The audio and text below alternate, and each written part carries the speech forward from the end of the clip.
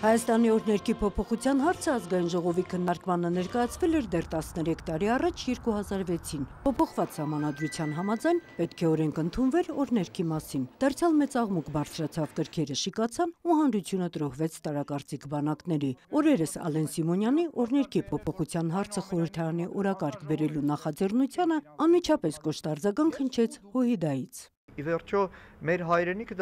ուղղակի երաժշտություն չէր։ Մեր հայրենիքը պատմություն էր, մի ամբողջ ժողովրդի ազատագրական պայքարի, հանրապետության կերտման, անկախության վերաձեռքբերման մի ամբողջ վկայագիր էր։ Ալեն Սիմոնյանը նախապատվությունը տալիս է Խաչատրյանի ստեղծած ՀԽՍՀ օրներքին։ Ազգային ժողովի փոխոսնակն ընդգծում է, ճաշակի խնդիր չէ կամ կմահաճույք, այլ սկզբունքային հարց է։ Գործող օրներքը հայկական չէ։ Գործող օրներքը բալկանյան երաժշտություն է եւ հայ ազգը, որը ունի մեծ ժառանգություն, որը ունի բազմաթիվ մեծեր երաժշտության ոլորտում նաև, կարծում եմ հնարավորություն ունի եւ պետք է ունենա հայկական օրհներք ունենալ։ 2006-ին Հոհիդա խորհրդանական ֆրակցիան ամեն ինչ արեց, որ մեր հայրենիքը չփոխվի։ Գեգամ Մանուկյանը հիշում է, իշխանության պարտադրանքներ, բայց իրենց հաջողվեց պահպանել հարգանքը պետական խորհրդանիշի հանդեպ։ Այդ օրերին էլ կրկնում եմ Հայաստանի ամբողջ ղեկավարությունը կամ առնվազն Սերժ Սարգսյանի շրջապ պատը ցանկանում էին փոխել։ Փառքաստու այն ժամանակ տապալեցինք,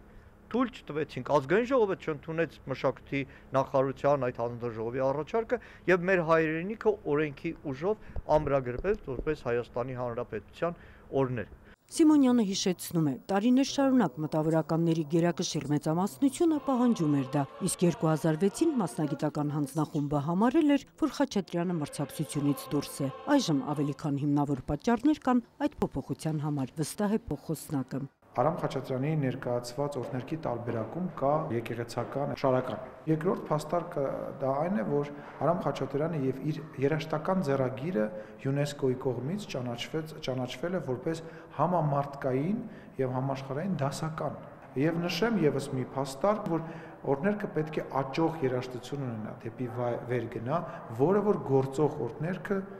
կրկին չունի։ Գեգամ Մանուկյանի գնահատմամբ ցանկացած երկրի օրներքում բացի վերելքի հզոր նոտաներից արտացոլվում են նաև երկրի պատմությունը, ազգի ոգին ու էությունը։ Օրինակները շատ են։ Թուրքական օրներգի մեջ հնչում է Եվրոպայի ատամները փշրելու մասին, Մեծ Բրիտանիայի օրներգի մեջ ծովերի տիրակալի մասին, Մարսելիոսի մասին այլևս չեմ ասում, արյան հիշատակումներով եւ այլն։ Այսինքն իրենք էլ կարող են փոխել, բայց իրենք այդ ամբողջ պատմությունը այդպես են անցել։ Ալեն Սիմոնյանն առաջարկում է չքաղաքականացնել խնդիրը։ Ընդամենը առաջարկ է հնչել, որն անմիջապես թեժ բանավեճի առիթ է դարձել, բայց նպատակը հանրային շահագրգիռ քննարկում սկսելն էր։ Նունե Ալեքսանյան, Էդգար Դավթյան, Ռոմիկ Խաչատրյան, լուրեր։